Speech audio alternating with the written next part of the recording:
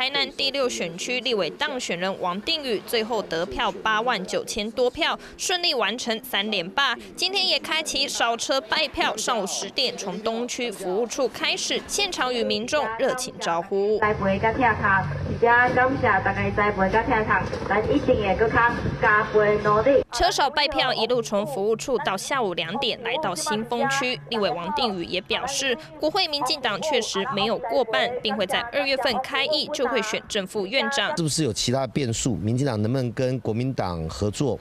民众党合作？这个我觉得要尊重刚当选的赖清德总统候选人。